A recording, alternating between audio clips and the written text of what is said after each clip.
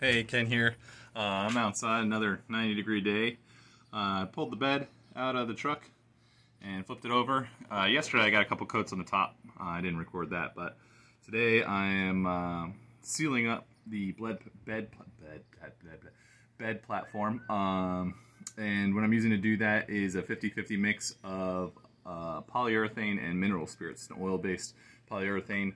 Um, and by thinning it that much, the wood really wicks it up. Uh, I'm not going crazy with a million coats. I want to carpet the top side of this, and before I do that, um, I want to make sure it's all sealed up so if it gets wet or the carpet gets wet, it doesn't rot the wood underneath it. So uh, I got my polyurethane down on this. Like I said, the top side is already done. Next up is going to be the drawer here. Um, and I have a couple different ideas for the drawer. Yesterday I was able to finish sealing up the platform here, so my uh, uprights are all sealed up and the, uh, the bottom side's all sealed up. Got to give that a couple days before I can carpet it. Um, so in the meantime, we're going to tackle the drawer slide situation. Um, this is a little tough to get in and out, and it likes to move around.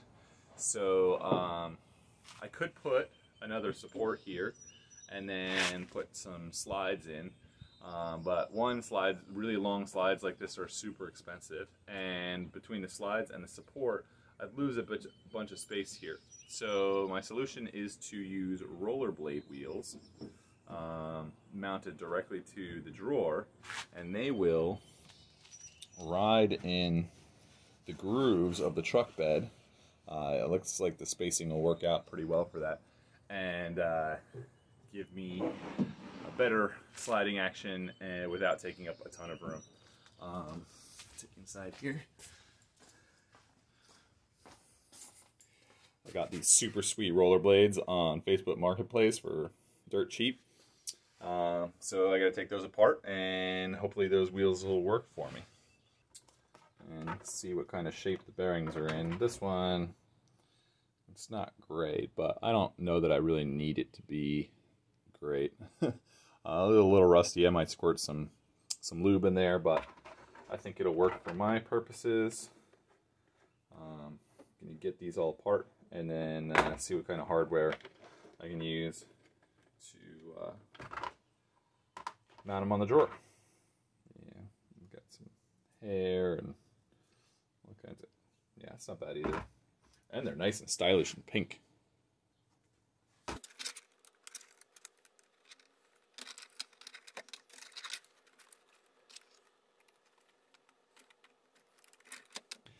Got these all cleaned up. They cleaned cleaned up pretty good and uh, lubed up. For hardware, I'm going to use a quarter 20 uh, machine screws and their head is pretty low profile. Um, they fit in the little sleeve perfectly and then I'm going to use a washer as a spacer between this and the drawer itself. Um, I don't know if I'm going to use six or eight. One of the wheels has a bad bearing. Um, I think that I could use it anyway um, because the washer should kind of hold things together. Um, but I haven't decided on that yet. I'm to pull the drawer out and see what our spacing and everything is like. Um, but first I'm going to measure where I have to drill the holes for these. I have a piece of PVC uh, trim under here as a little shim. You can see the wheels will roll in these tracks. Um, and it looks like if I make my hole basically right above the uh, the plywood there, I think that I'm going to go as close to the plywood as I can and still be able to get a nut on the other side.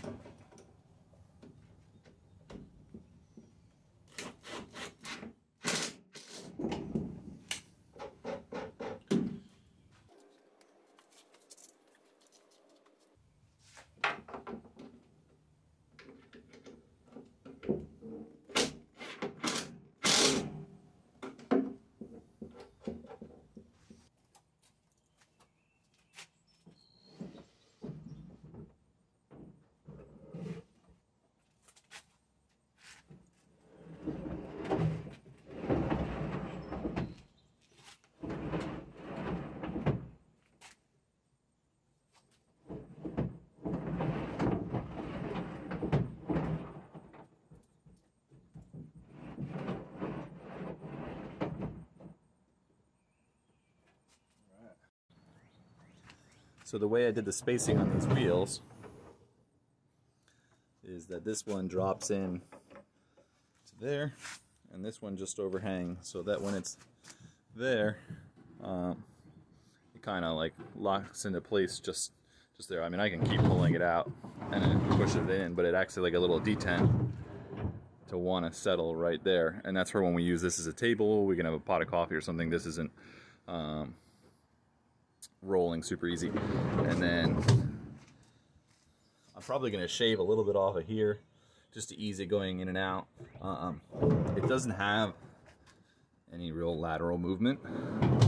Um, but just in case it shifts or whatever, that'll help guide it into place. But our spacing worked out absolutely perfect to be using uh, the bed rails as a guide. And I'm pretty happy with it. Thanks for joining me with this drawer modification. I think it's a pretty simple solution. Uh, we'll see how it works in practice, but uh, it was getting to be a pain in the neck trying to haul a big long drawer out um, without any kind of assistance.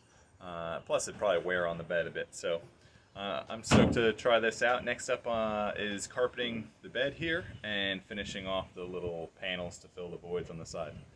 But see you next time.